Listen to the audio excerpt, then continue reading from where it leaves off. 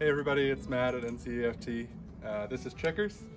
Uh, today we thought we would show you a little bit about what's going on here uh, while you're not able to be here. Uh, so here we go.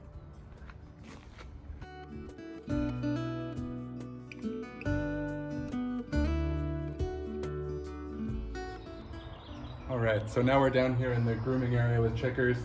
Today we're gonna go on a little trail ride. Um, and before we do that, we're gonna get him all cleaned up.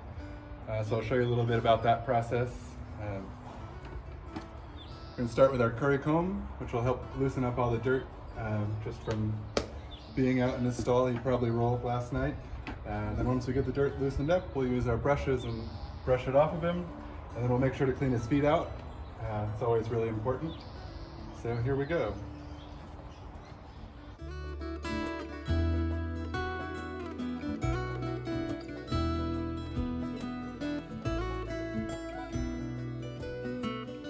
Now. Um, Checkers actually got brand new shoes yesterday. Um, so we're just gonna make sure the feet are all cleaned out and there's no rocks or anything in there that would hurt uh, when he gets out moving around.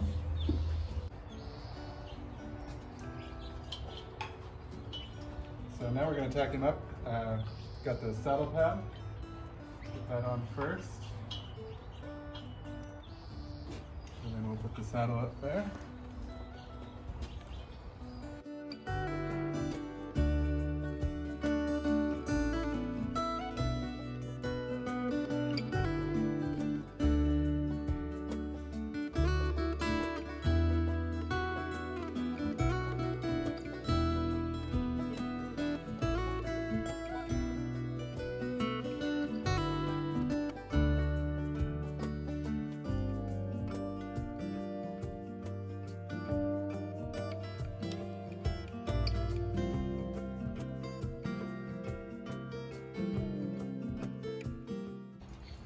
We'll put uh, we'll put Checker's bridle on. Uh, this bridle is a little different than the one he wears during sessions, um, but this is the one we like for when we go out on a trail ride.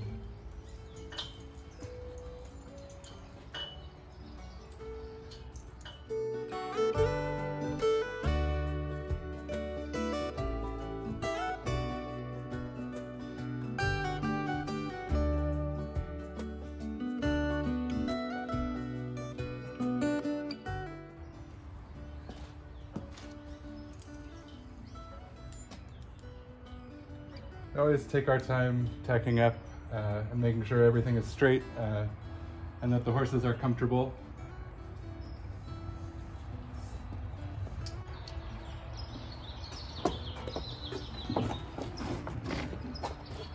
All right, so here we are at the mounting block, uh, ready to go for our trail ride. Uh, we just want to check the last few things. We always make sure the girth is snug. That feels pretty good. Checkers looks like he's ready to go. Um, got a hold of our reins, We've got our helmet on, uh, so now we're ready to go. We'll just